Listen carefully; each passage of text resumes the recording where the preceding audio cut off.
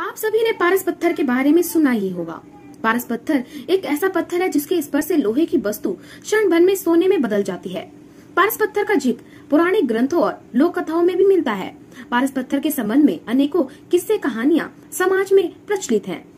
कई लोग ये दावा करते हैं कि उन्होंने पारस पत्थर को देखा है। पारस पत्थर की प्रसिद्धि और लोगों में इसके होने को लेकर इतना विश्वास है कि भारत में कई ऐसे स्थान हैं जो पारस पत्थर के नाम से जाने जाते हैं। कुछ लोगों के आज भी नाम पारस होते हैं। कुछ लोगों का मानना है कि टिटहरी पक्षी के अंडे बहुत ही कठोर होते हैं।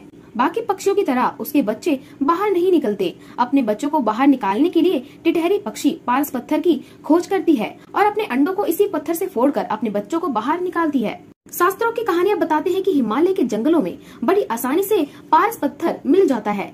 बस कोई व्यक्ति उसकी पहचान करना जानता हो। कहानियों के अंदर ज़िक्र आता है कि कई संत पारस पत्थर को खोजकर लाते थे और अपने भक्तों को दे देते थे। यह पारस पत्थर हिमालय के आसपास ही पाया जाता है। हिमालय के साधु संत ही जानते हैं कि पारस पत्थर को कैसे ढूंढा जाए। ऐसा भी कहा जाता है कि प्राचीन भारतीय रसायन कार्य नागा अर्जुन ने पारे को सोने में बदलने की तरकीब विकसित की थी। उन्होंने ही पारस पत्थर को बनाया था।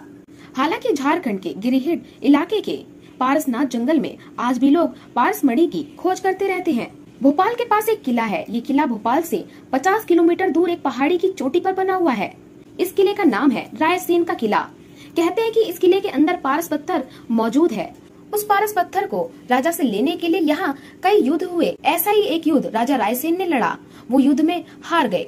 अब वो पत्थर किसी और के हाथ में ना चला जाए, इसीलिए उन्होंने उसको किले के अंदर ही तालाब में फेंक दिया। आखिर में युद्ध के दौरान ही राजा की मृत्यु हो गई। मरने से पहले उन्होंने पारस पत्थर के बारे में किसी को नहीं बताया। उनकी मृत्यु के बाद ये किला वीरान हो गया। इसके बावजूद उस पारस पत्थर को ढूँढने उस किले में बहुत से लोग गए।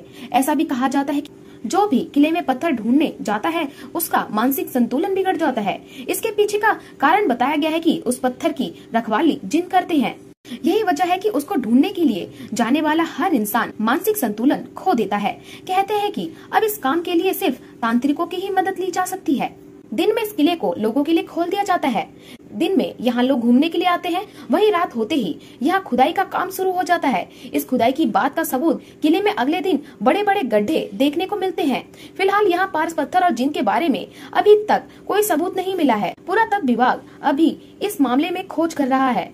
आज तक इस रहस्य को कोई नहीं जान पाया और जिसने जाना, वह इस दुनिया में नहीं है। परंतु कहते हैं कि पारस पत्थर की खोज अब तक जारी है।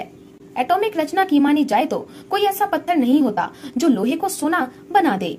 यह काले रंग का सुगंधित पत्थर है तथा ये दुर्बल होता है। यह पत्थर बहुत ही बहुमूल्य होता है। इसके होने से सकारात्मक ऊर्जा में वृद्धि होती है, नकारात्मक ऊर्जा में कमी होती है। ये पत्थर जहाँ हो, वहाँ किसी भी चीज़ की कमी नहीं होती। किवदंतित के अनुसार तेरहवीं सदी में वैज्ञानिक और दार्शनिक अल्बर्ट मगनुस ने पारस पत्थर की खोज की थी।